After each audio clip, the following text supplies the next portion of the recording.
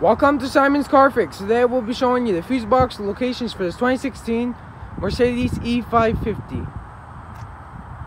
The first fuse box location we have is located on the right side of the car, which is located right over here.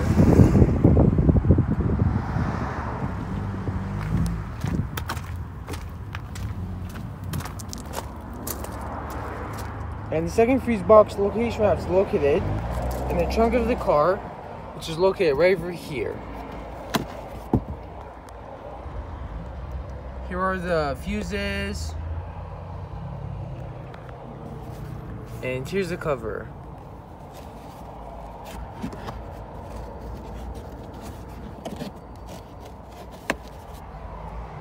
And those are all the fuse box locations for this car. Thank you for watching.